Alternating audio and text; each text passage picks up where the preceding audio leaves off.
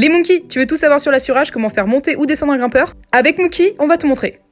Lui, c'est le grimpeur, il a un nœud de 8 avec un nœud d'arrêt. Il est en bout de corde. On va utiliser le gris-gris. Vous avez un schéma d'installation. Ce côté représente le grimpeur. Et de l'autre côté, la personne qui assure. On va donc faire passer la corde comme ceci pour mettre le grimpeur du bon côté. On le ferme. Et là où vous avez ce trou, c'est pour mettre votre mousqueton à votre pontée. On clip le gris-gris et on vient le clipper ici. La poignée de freinage assistée est du côté gauche. Vous venez mettre votre mousqueton et vous le vissez vers le bas. Vous le vissez à fond pour le fermer. Le gris-gris Petzel est un assureur avec blocage assisté par cam. Lors d'une chute ou d'un repos, il va se bloquer. Voilà, notre installation est prête. Mookie est en sécurité et va pouvoir aller grimper. On va voir ça. Il a décidé de faire un toit.